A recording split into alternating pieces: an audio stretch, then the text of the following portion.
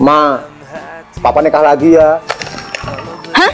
Kamu sayes banget. Ngurusin satu istri aja nggak becus mau nambah istri lagi.